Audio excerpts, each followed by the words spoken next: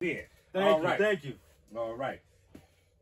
Using your long range jab, getting your head fully offline. So now, more than just using the range, you want to get your head offline. Model was very good at this, so we're going to do this nice and slow. No speed is necessary when you're trying to learn. Coming with the jab, front foot up. Now, his head is going to be all the way off to the line. Relax, relax. Don't lock the jab out.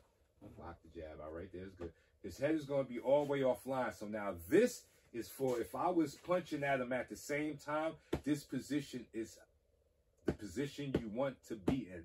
The shoulder is protecting him and it's also going to alert him to your day to you being there. Because once the shoulder gets touched, he releases the right hand. So it becomes like a button. The, the right hand doesn't go until he feels the shoulder touch. So if he's just stepping with the jab, then you resume the position. So this is how you train the touch. Stepping with the jab. That's right, back. Oh, he's killing it now. You see it? you ain't got to do don't no tense it, but keep it just like what you're doing. Again, look how much range he's he look how much distance he's covering. Look what it pat. Yeah. And he's still he's still anchored to his back leg, so he springs out. So now when the shoulder gets touched, that tells him to release the right hand. We'll do it slow.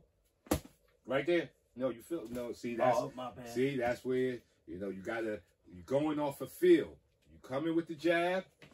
Soon as the shoulders touch, no, over my hand. Oh, my bad. All right. Right there. Stay back. Nice and slow. Slow. Slow. Easy. Easy breathing. There should be no heavy labored breathing.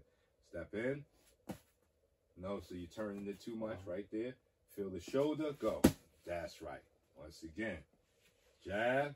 Feel the shoulder. No, no, no, no, no, no. Back up, back up, back up. Easy. Breathe.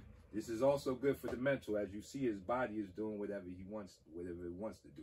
This is the training of fighting. It's to command your weapons. Tell you tell them what's going on. So stepping with the jab, foot up. Once I touch the shoulder, you release the right hand. Very good. Once again, we do it slow. There's no way to build it up. There you go. And it becomes a beat. Back up. Coming with that front foot up. That's right. Slow it down. Slow it down. Coming with that front foot up. No, it's too slow. Too fast. Too fast. Slow it down. No speed needed. Very good. See, and this is how you good way to when you're working with men, because you know as men our testosterone is on 10. So slow, people. Slow.